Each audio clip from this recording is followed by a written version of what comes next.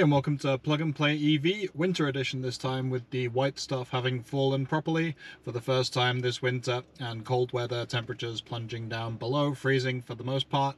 So I thought I'd do a fairly simple test but one which is um, increasingly important at the moment. What with the snarl up down in Virginia in winter weather, people on the interstate there for more than a 24 hours. Old memes doing the rounds of what if this was an electric car, what if you got stuck, you'd be battery would be dead within an hour or two.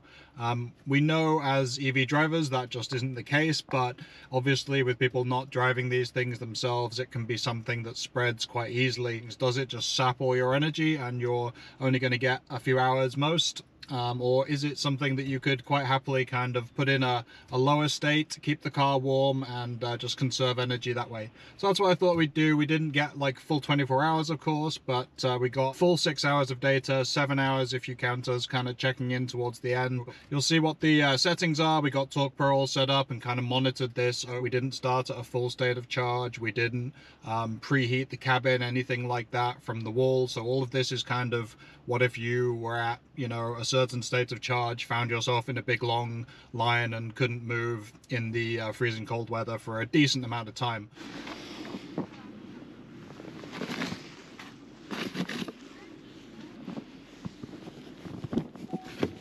Okay, energy efficiency when you're dead stop still in cold weather. Let's see what we consume.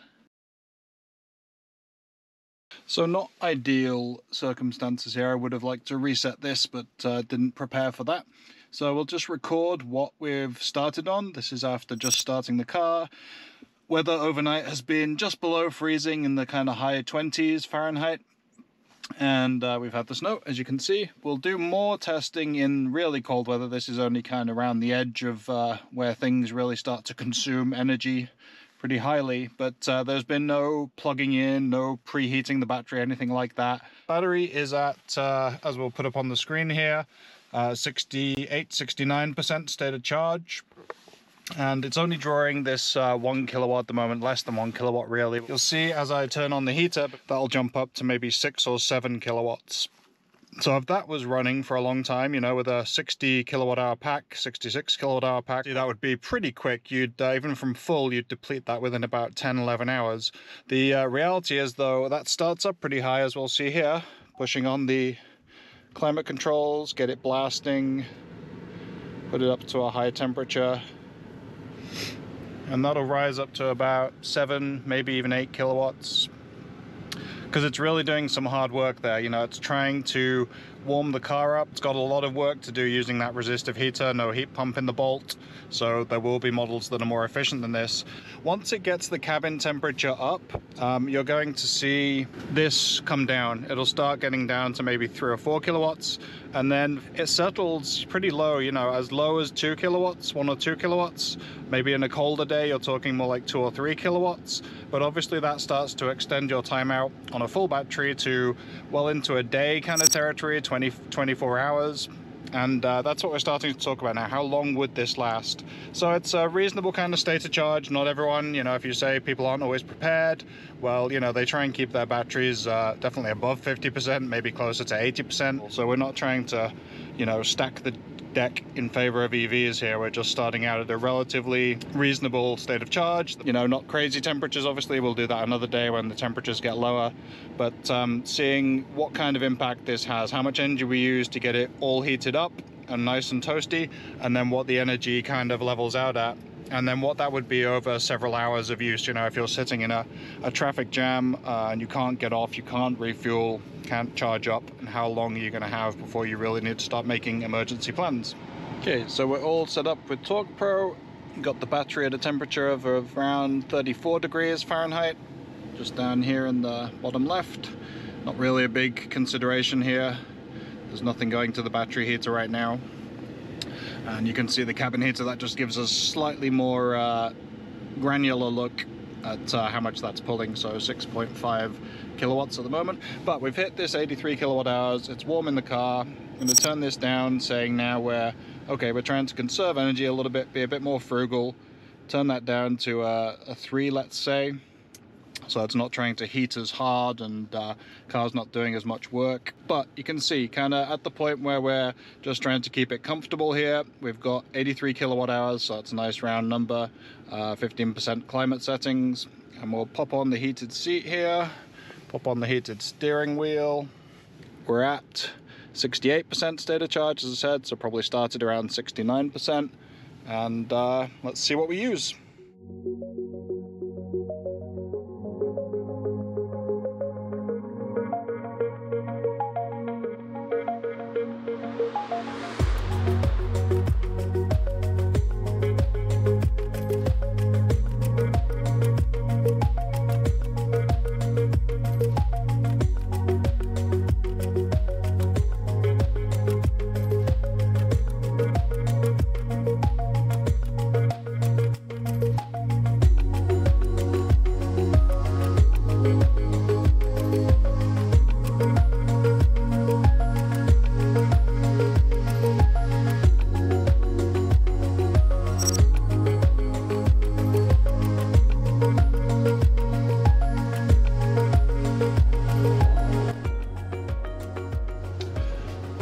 so just coming up to the two o'clock mark.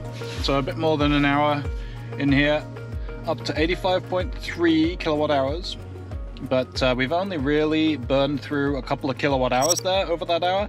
So even with the initial energy loss using the uh, cabin heater to really blitz up to the temperature keeping it warm here is uh, kind of hovering around that uh, two kilowatt maybe three kilowatts as it gets up a little bit. You see the um, heated seat starts to ramp down. That's just uh, the way the settings are. That will start at three but as it uh, warms up and uh, doesn't want to overheat starts to cool down a little bit. But we've kept the same settings here the whole time. It's been on 72 degrees Fahrenheit. It's not crazy numbers. We're not going to lose all of our energy within an hour of being in the car. So this is all the cabin heater. It's in watts so you know you just make it into kilowatts with the 2.8 2.9 right now and that reflects on here. Because it won't show decimals but you'll see it as a 2 or a 3 if it gets past 2.5 kilowatts. But it's not sucking up so many kilowatts that this is going to lead us to worry about range for quite a long time. You see we're up in the upper half of the pack that's been an hour. This is all going to climate settings now. We've not seen any activity on the battery heater because there's no need for it to go to work. Uh, we'll start to see how this goes through the hours. Obviously, it's not going to get much colder here. This is about where we're at for the rest of the day until we head into night. So if you start at a you know reasonable state of charge, we're not even beginning to panic here with this uh, you know range still on there depending on how far you've got to go. Obviously, if uh, you're on a long journey, you'll need to plan a charging stop uh, after sitting there for a while and maybe using more energy than you expected to go no miles or very few miles if it's slow moving traffic. But you know, right now, plenty of range, plenty of energy left in the pack, and we could sit here for many more hours, which is what we'll try to do. See how it goes. 87.2 kilowatt hours consumed when we started on 83 so we're just a little above 4 kilowatt hours consumed over three hours. So you can see we're starting to level out. Think about what we're trying to show here is that you can keep the car comfortable at a point where you're not in any kind of danger in one of these bizarre very rare instances where the traffic is so heavy and the weather is so bad that you're unable to get out, trapped on an interstate, uh, stuck somewhere where you just can't drive for whatever reason and you need to stay with the car. Um, you can't abandon it and go somewhere else. So the car is your source of heat. And again, you can keep it at this perfectly comfortable 72 degrees Fahrenheit. You could crank up your heated seat a little bit more Still got the steering wheel, although you don't really need to be holding it if you're not driving, of course. But again, the mileage is barely going down there. You know, we don't really look at the GOM in this instance because, uh, you know, it's automatically when you turn the heater off, that's going to jump up 15 to 20 miles. Turn it back on, it'll jump uh, or fall back. But we're not even down past the 60% mark. We started at 68%, if you remember, and uh, we're at 61% state of charge now nightmare scenario that people like to point of, you know, electric car. If all these cars were electric, um, they'd be done within an hour or two. Well, we're past our third hour, into our fourth hour here, and not even beginning to worry a little bit. All right, four hours in, and the light is faltering, but the heating is not.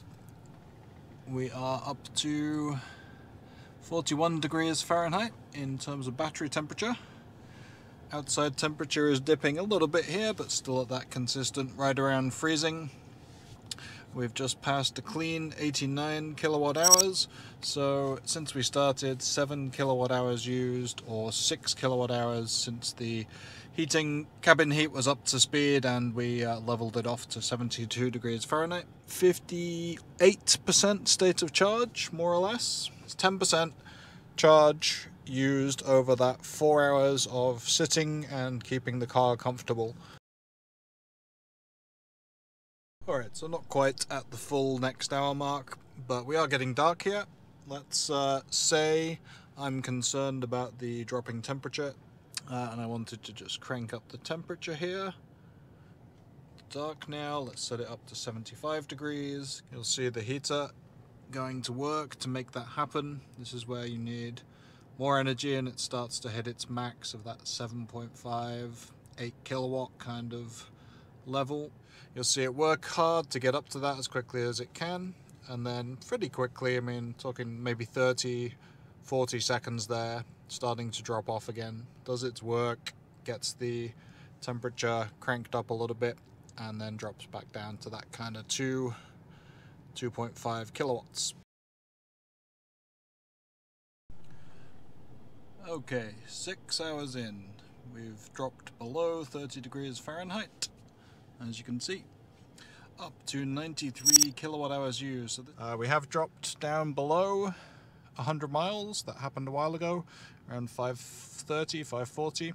But again, this is a bit of a guess, you know, it's uh, something that you could alter by turning the heater off, lowering it a little bit, and then starting driving. Bunch of different things factor into that, so you're not so worried about the actual mileage as much as the state of charge, which we can still see is uh, above 50%, you know, closer to 51%.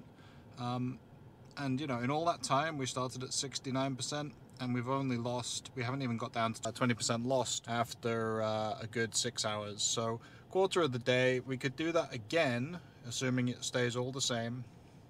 Uh, and you know, remember we're heating at 75 degrees here, so we're perfectly comfortable. I could wear a t-shirt in here and be fine.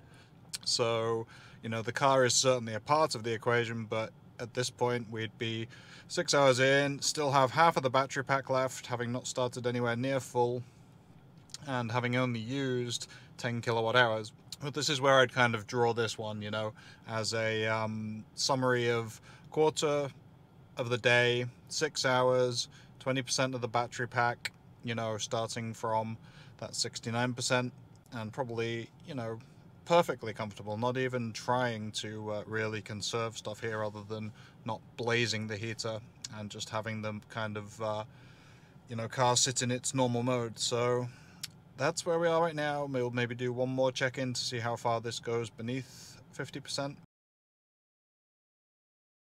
Final check-in, seven hours after we started this. Um, so it's been almost two and a half hours on that level and certainly pulling a bit more we'll notice in the numbers we put up at the end of this but uh, still comfortable. You could uh, enjoy that heat for a good while longer. Just slowly ticking down. This is going to go way down overnight so that would be a different test we need to do in the um, single digits Fahrenheit to uh, see how that deeper cold affects it. So part one really.